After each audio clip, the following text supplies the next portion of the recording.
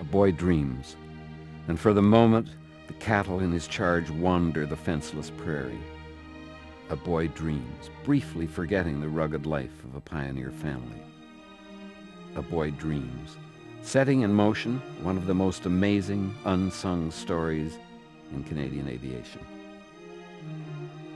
He was truly an inventor, no question about it. Gibson designed and built the first Canadian aircraft to qualify as having flown in Canada. I feel Gibson was far ahead of his time for the information that he had and that he had a very innovative mind. And he was also the first person in Canada to fly a Canadian-built aircraft.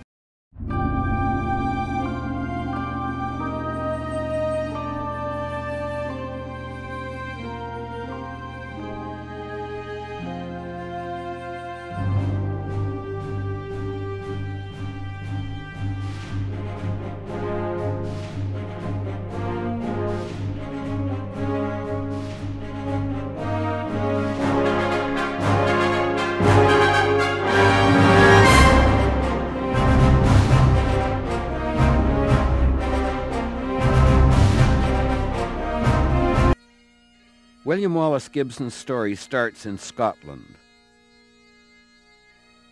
His father, William Wallace Gibson Sr., has his own dreams of flight, flight from a land where an ambitious stonemason can see no advancement. A land that offers only the small farms that the hated lairds and factors will rent him, or the filth and crowds of the cities.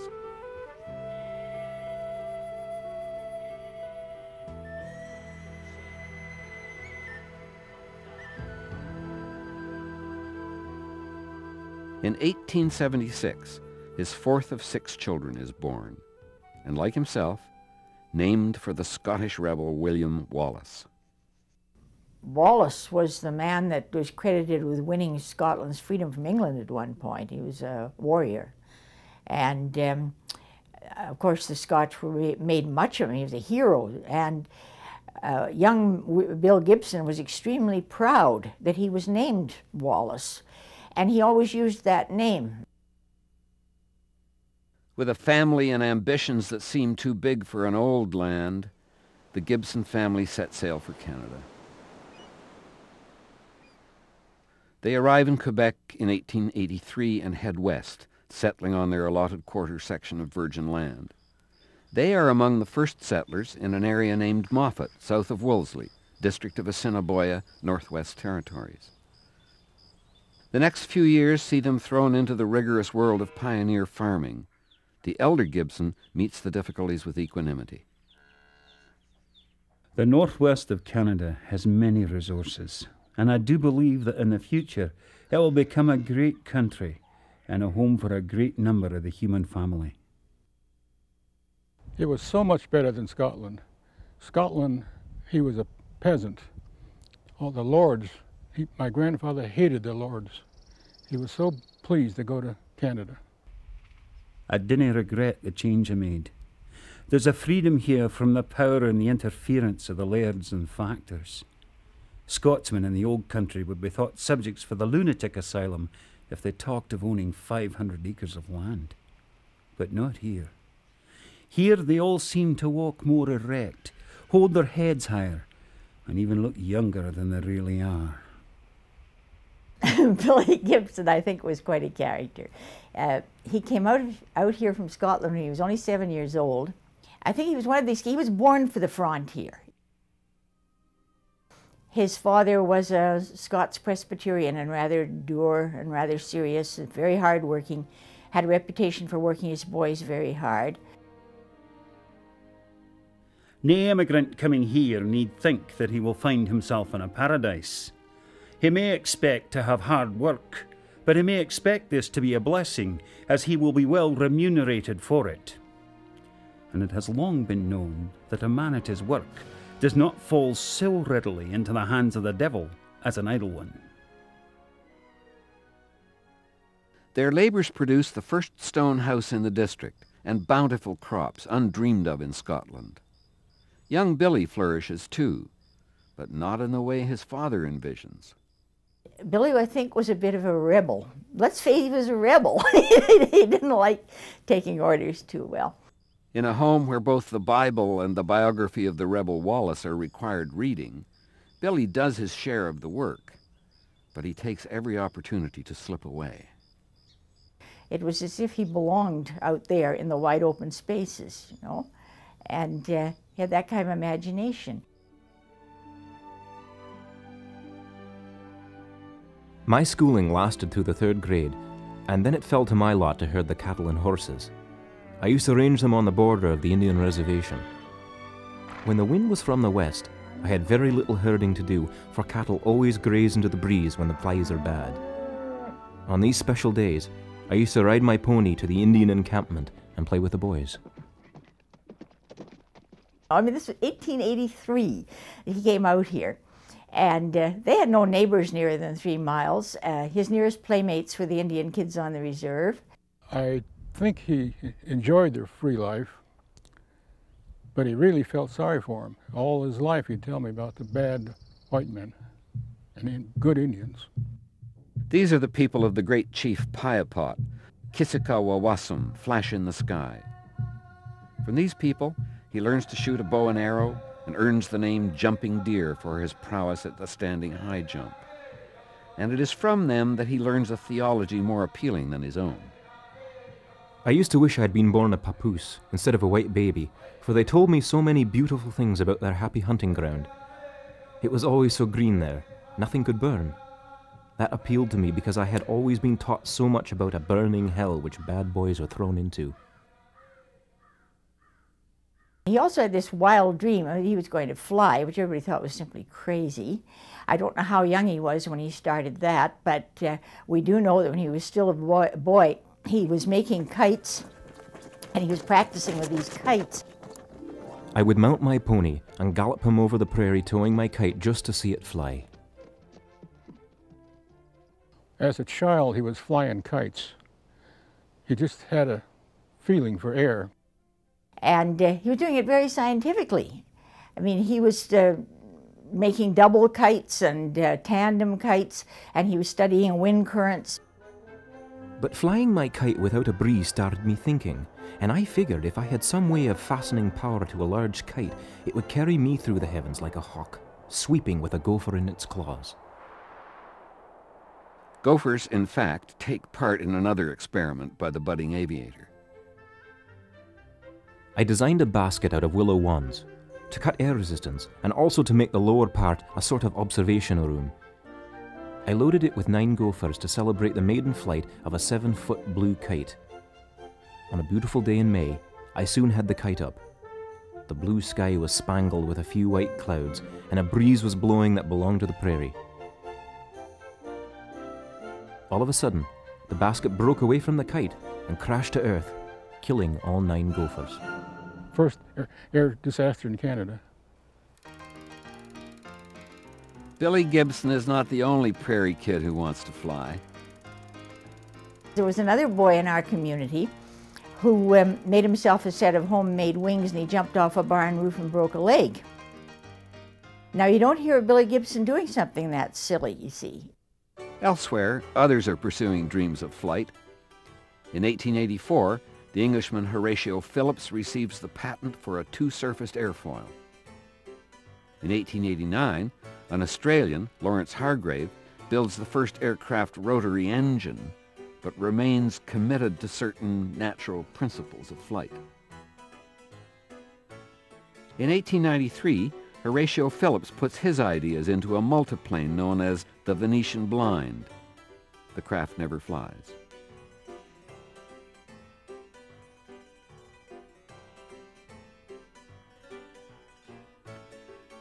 In 1900, Professor Langley, secretary of the Smithsonian Institution, is given a $50,000 grant by the Army to produce a flying machine. At the same time, the American engineer Octave Chanute is experimenting with gliders and sharing the information with other early birdmen. The main benefactors are his friends the bicycle building brothers from Dayton, Ohio, Orville and Wilbur Wright. In 1900, Billy Gibson moves seven miles north of Moffat to the town of Wolseley. He learns the blacksmith trade. It's also in Wolseley that he first encounters 20th century technology. In 1901, he is the first man in the Northwest Territories to buy an automobile. He becomes an expert with its gasoline engine. When it's discovered that another man in the district also has a car, Gibson challenges him to the first auto race in the territories. The results, by all reports, are inconclusive.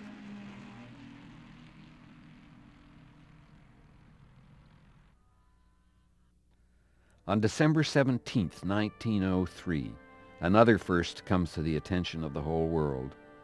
Near Kitty Hawk, North Carolina, with Orville Wright at the controls and his brother Wilbur operating the catapult, the first heavier-than-air machine takes to the air.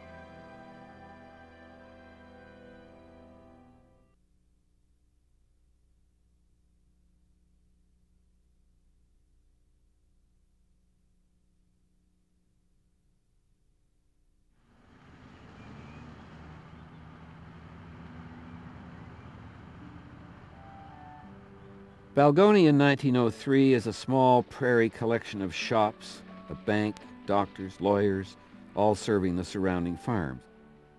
It's the perfect place for Billy Gibson. He's a prosperous farmer and a hardware dealer in Balgonie.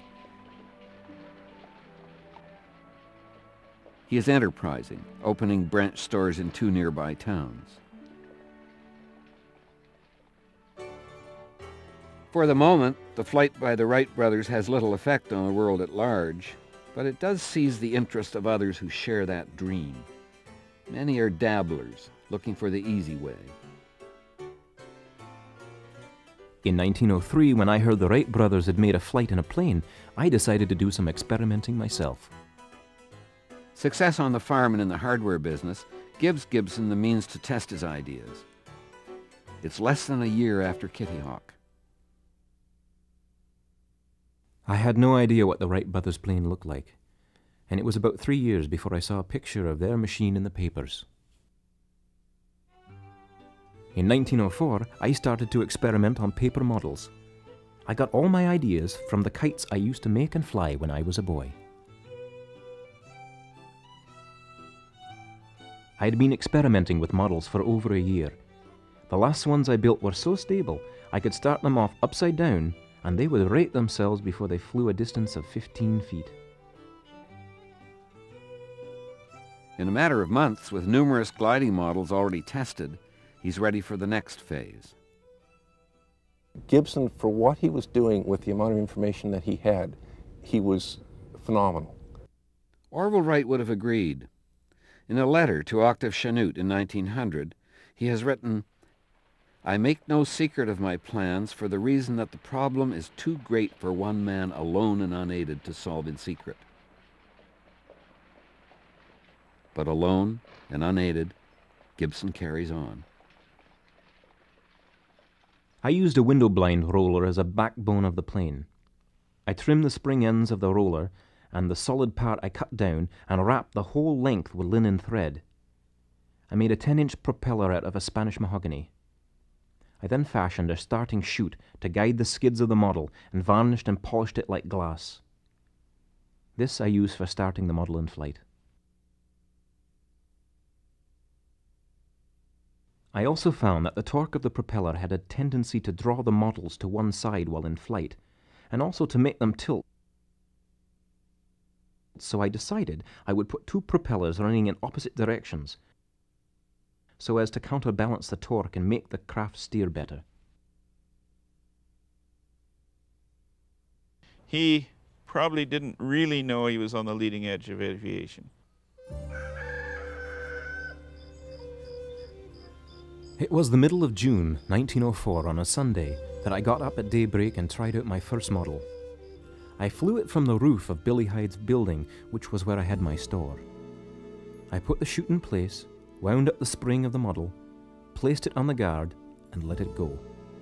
It took to the air before it reached the end of the chute, flew across the street a distance of 130 feet, struck a boxcar that was standing on the side track, and damaged one of the wings.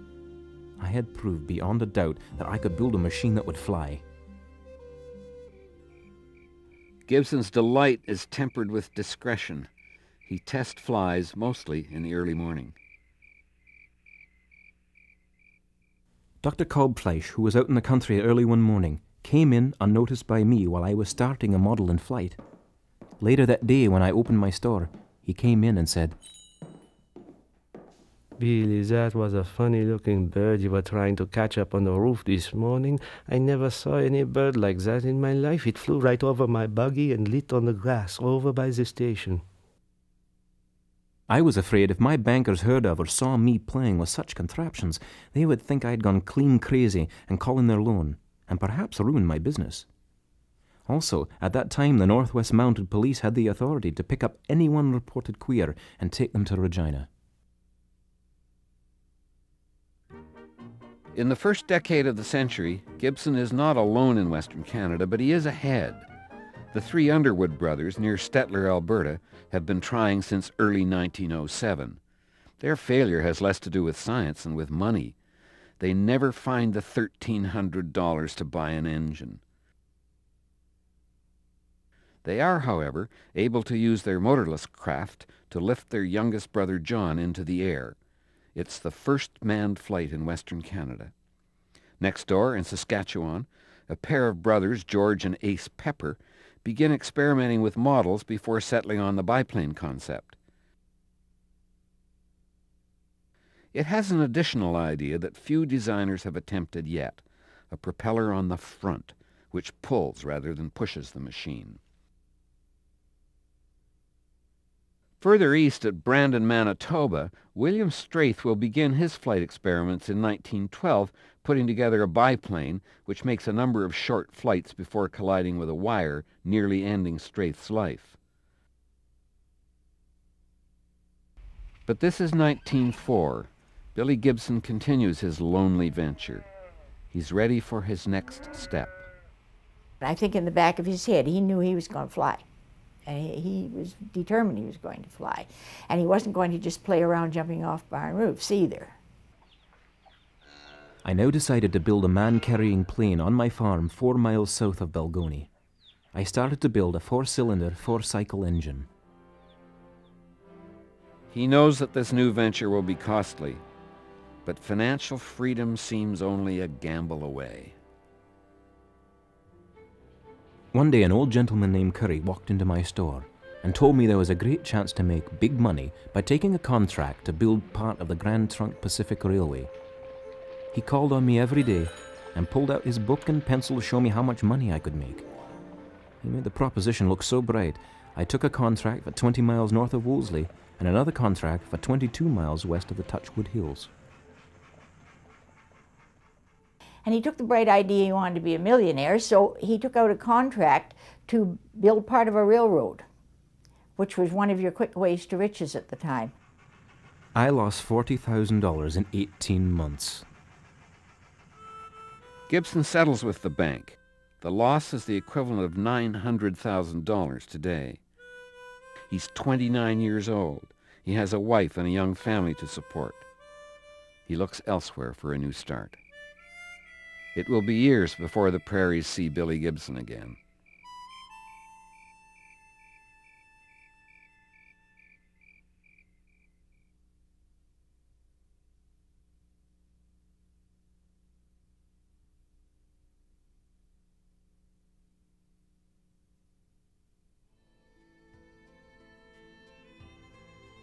The railway building venture puts Billy Gibson out of business. He settles with his debtors and then packs up his family and heads to British Columbia, where his parents and siblings had already moved. He takes his partially built engine. He just packed it up and took it with him and went to the coast. And the west, uh, the prairie never saw him again, you see. He went out there and he built his plane in Victoria. I arrived in Victoria in the fall of 1906 and put a stop to my experiments for a time. In Victoria, Gibson encounters Zach Hamilton, an old friend from Regina. Zach had moved west and was doing a booming real estate business. To aid me in my business, I had acquired a cumbersome and immense vehicle known as a De Winton. Having known William Gibson on the prairies as a good mechanic, we engaged him as skipper. The adventures he had with that car were truly remarkable. And he drove that car recklessly, you know, got into all kinds of mishaps. On one occasion, he knocked a Douglas streetcar clean off the track with it, severely wounding several people and emerging from the conflict with his head bloody but unbowed. He had the De Winton running again long before the city of Victoria was able to repair the streetcar. But finally, the bill for the repairs to our chariot was so excessive we sold it to Gibson on time. Gibson's detour from his flight dreams is only temporary. He was still an airplane builder at heart. I completed my four cylinder engine in Victoria, but it jumped around like a chicken with its head chopped off. So in the fall of 1907, I started to build a six cylinder, two cycle air cooled engine. Money is a problem. Another scheme is needed. Fate brings Gibson together with a well-known Vancouver Island character, the logger and prospector Lockie Grant. Lockie brags of finding high-grade ore in the Leora mine near Clayoquot, and he carries an impressive gold nugget in his pocket to prove it. But he needs a backer. Gibson plays a hunch. He trades his car for a 17-foot boat and motor. Gibson and two acquaintances, who know as little of navigation in the open sea as he does, head up the coast for Lockie's claim 70 miles away. The trip takes eight days. Gibson loses 28 pounds. The Lord must have had some use for me, or he would never have allowed me to survive. Maybe it was my destiny.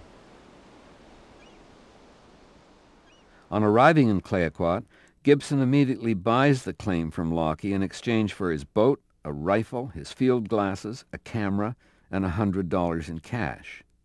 And they set to work. Whatever angels have preserved Gibson on his trip north are still with him.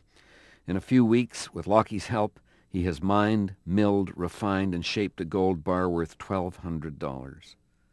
With proof of the claim's value, he's able to sell it to speculators for $10,000.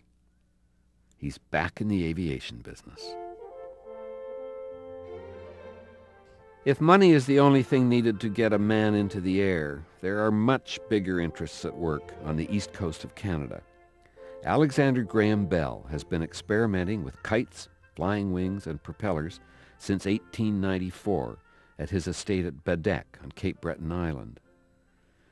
In 1907, his wife Mabel funds the Aerial Experiment Association. Its members, besides Bell, include two Americans, Glenn Curtiss, later the founder of Curtiss Aircraft, and Thomas Selfridge, an Army man who has dedicated his life to unlocking the secrets of flight, and who becomes the world's first air casualty in Florida a year later.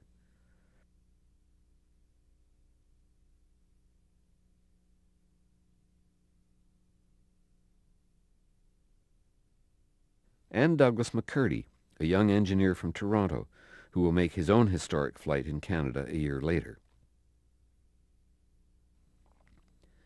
Most likely unaware of these exploits, Gibson works on. He finds, however, that while money is no longer a problem, moral support is.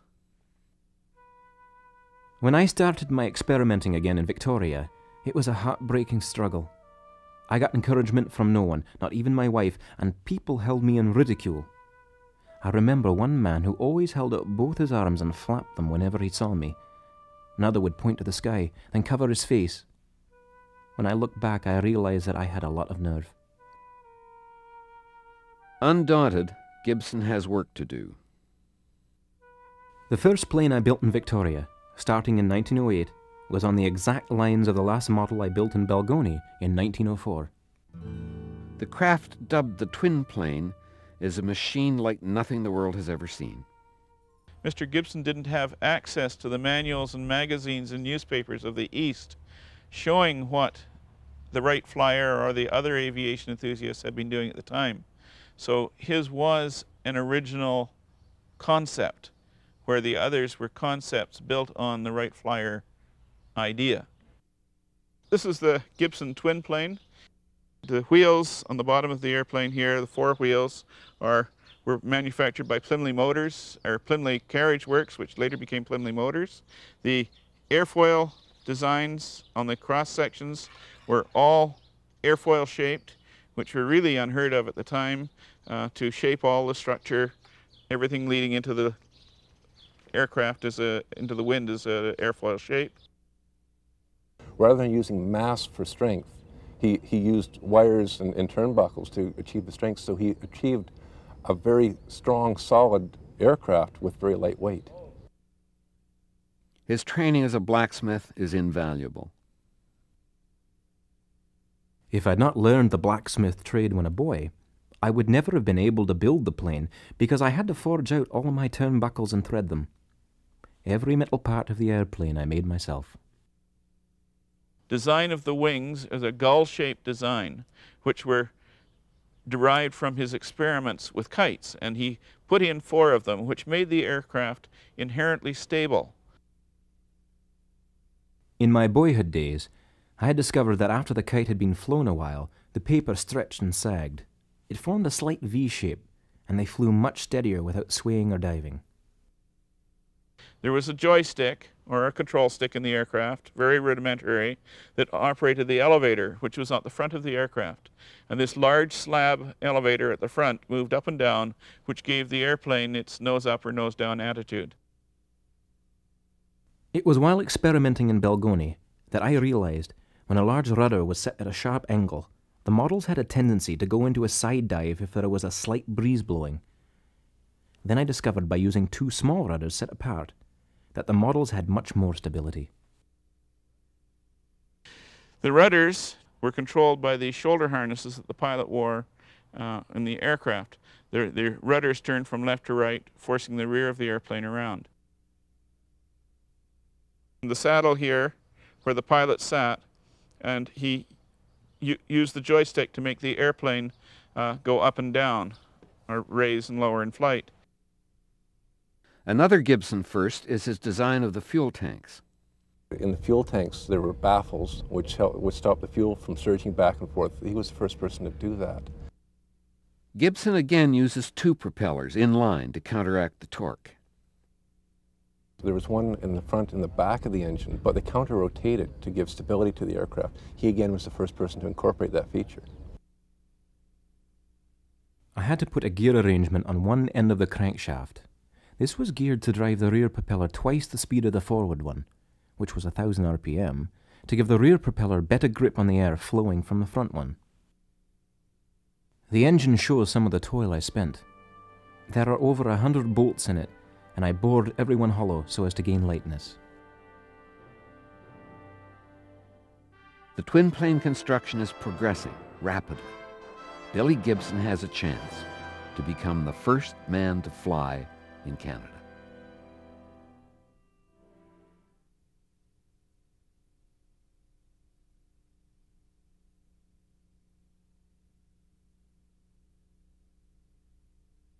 On February 23, 1909, Douglas McCurdy flies the American-built Silver Dart nearly a mile over the ice of Bras-d'Or Lake on Cape Breton Island.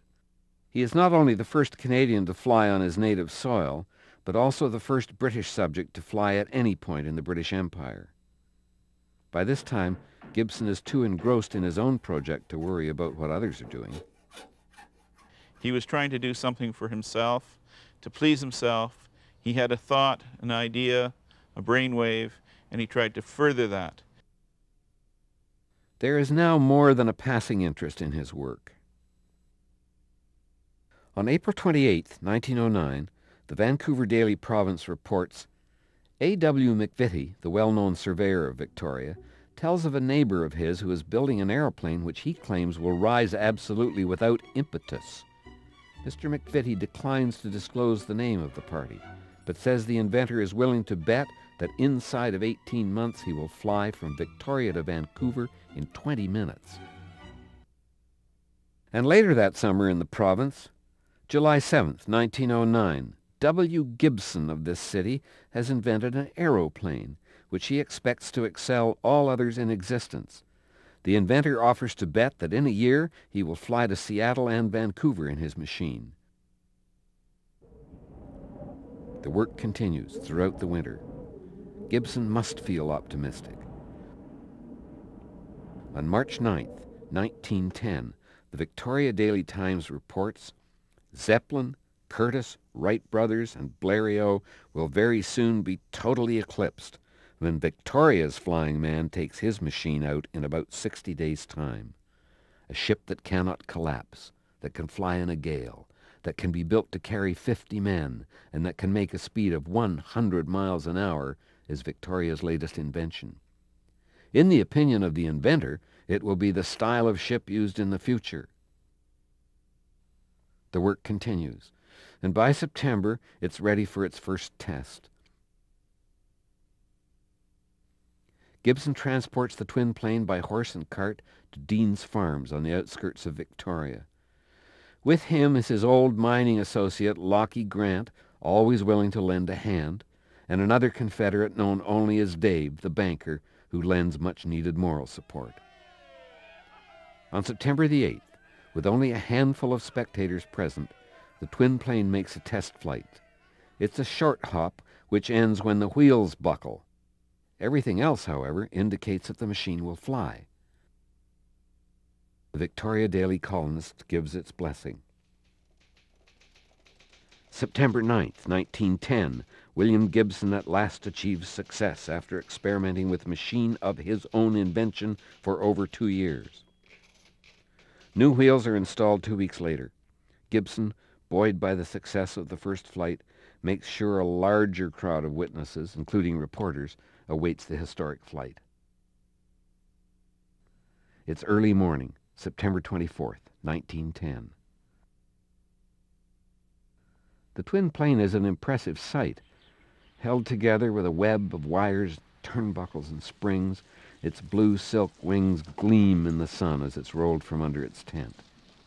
Gibson, Lockie, and Dave position it at the base of an incline. 54 feet in length and 20 feet wide. It's like nothing the world has seen, a machine of half the weight and twice the power of the first Wright flyer. Gibson's craft, based on the principles of over 20 years of solitary dreaming and experimentation and innovation, is about to test its wings. This is it. There's no turning back. Billy Gibson, 34 years of age, no flying experience, places himself in the saddle. The motor barks to life. Lockie holds on to the tail of the brakeless craft.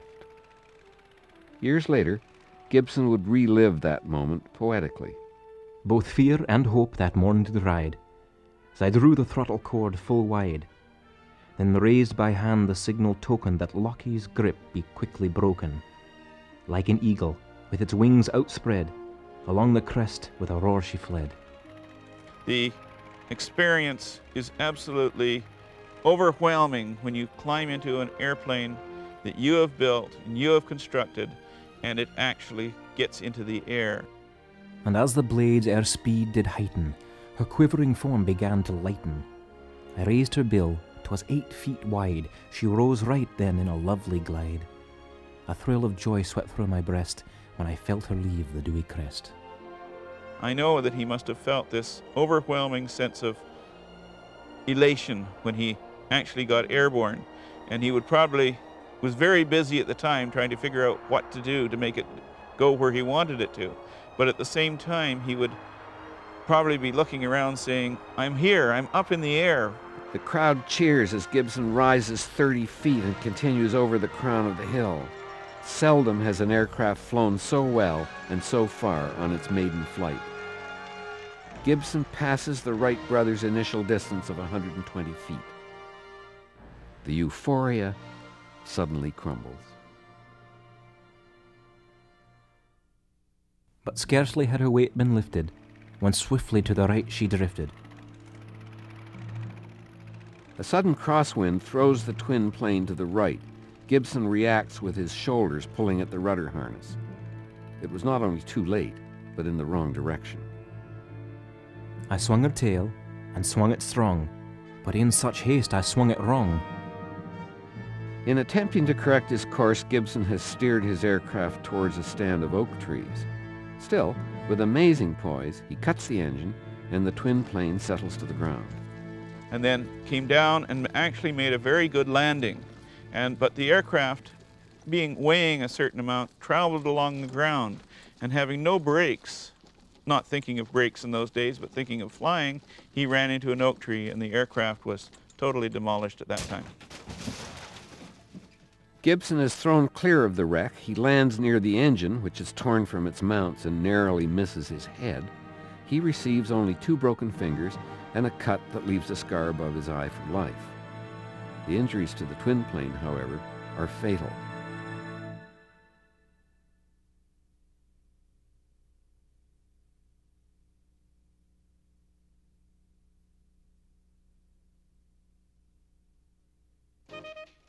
The Victoria Daily Colonist.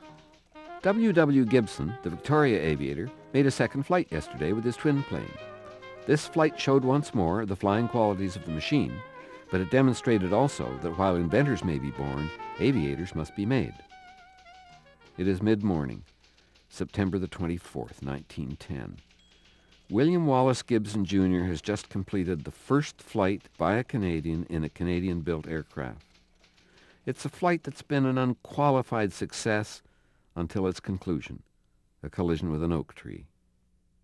In fact, from beginning to end, he managed to take off, control the airplane, land the airplane, so the flight was great. The, the, the rollout wasn't so hot.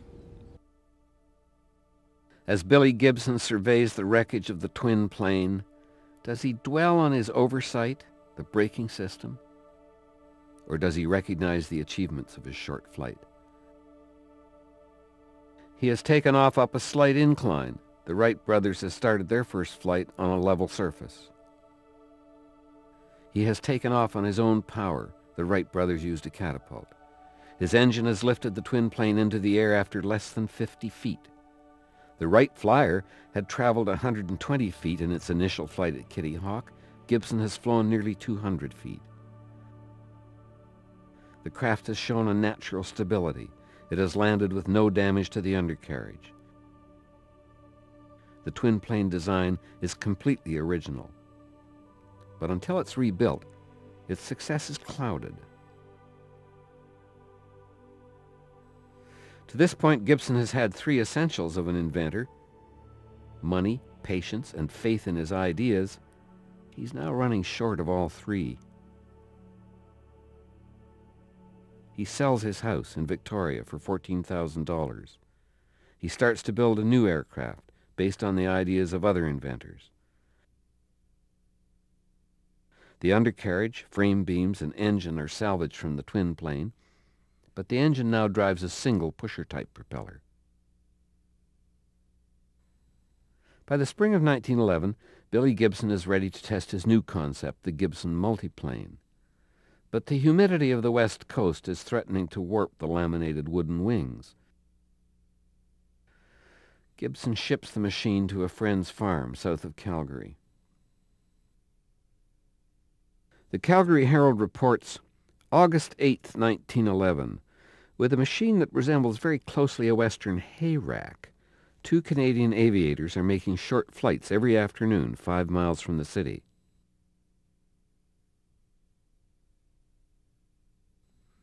The article's full of Gibson bravado. Claims are made that the multiplane has already flown up to a mile in test flights. It's also claimed that the aircraft will fly just as well with or without a pilot. The pilot this time, however, is not Gibson. Before leaving Victoria, his wife has exacted a promise from him that he will never again risk his neck flying. He has three children to raise, and with no house, their existence is precarious. In Calgary, he hires Alex Jape to fly for him. Jape will be one of the first paid test pilots in Canada. Three days later, two reporters arrive on the scene. The Calgary Herald writes, While attempting to make a landing from a height of over 100 feet in the air during a flight yesterday afternoon, Alex Jape, an aviator working with W. W. Gibson, inventor of the multiplane airship, crashed down into a swampy coulee near this city and narrowly escaped death. His machine was badly wrecked. Gibson says he will rebuild his machine with pressed steel planes. But Gibson's claim is hollow. The era of his young life is over. He will not rebuild his aircraft. He will not realize any return on the nearly $40,000 he's invested in his flying machines. The flight dreams will never die, but they will never again be pursued with any hope. He had to make money. He saw he was not making any money with airplanes. So. Gibson returns to Victoria where he has no prospects. His only asset, the aircraft engine, is stored away. He just hated to give up. He wanted to stay with it, but financially it was too much. His marriage in these last years, deteriorating as surely as his dreams of flight, has crumbled. His thoughts are now exclusively of gold. In the next few years, Billy Gibson remarries and has three more children, among them William Wallace Gibson III. In the gold business, he has more successes than failures. That was around 1919, 1920, 21. They found $30,000 worth of gold in one day. I can remember my parents dancing around the pot of gold. Gibson finds the available mining machinery to be poorly designed and inefficient. He improves it. He registers his inventions in almost a hundred patents. This leads to his greatest financial success as a manufacturer of mining machinery. The Depression was came on in the 30s. Everybody was going mining. He has a commodity people need. While the rest of the world suffers through the dirty 30s, he becomes a millionaire. The inventor's mind is still fertile with thoughts of flight. He never did forget airplanes, and he always wanted to build another one. And he actually started several times. He made parts for airplanes as late as oh, 1938, spars and fuselages, but he never put one together. Billy Gibson's contribution to Canadian aviation has mostly sunk into obscurity, except for the praise of a few aviation historians. I admire Gibson because he truly was ahead of his time. He was an innovator. He truly was a genius. I admire the man for his uh, ingenuity. Um, there was so very little known uh, about aircraft, uh, particularly where he lived. For somebody in Victoria, British Columbia, with no background, with little knowledge of what people had done in the past, he truly is somebody to be admired. Gibson's last 20 years see him receive some small recognition. Infrequent articles about his exploits appear in Canadian aviation magazines, and he will donate his aircraft engine to an honored place in the National Aeronautical Museum. But the greatest recognition in his lifetime comes from an unexpected source. In July 1948, Gibson is asked to attend the unveiling of a monument in honor of his boyhood friend Chief Piapot on a reservation north of Regina. After the unveiling, there is a surprise for Gibson. He's invested as a full chief of the Cree Nation. At that time, he is one of only four non-natives ever given this distinction. And the Cree bestow on him the same honored name by which he knew Piapot, Kitsikawawassam, flash in the sky. Billy Gibson isn't remembered as the most successful of the Canadian birdmen. His work in flight was largely obscured, ignored, forgotten.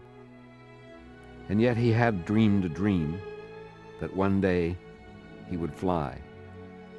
And one day he did that.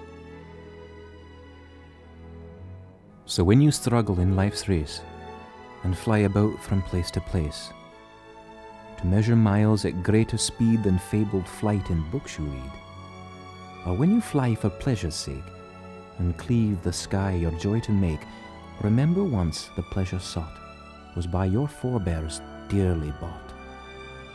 Bear in your mind that doubtful day when birdmen nobly paved the way.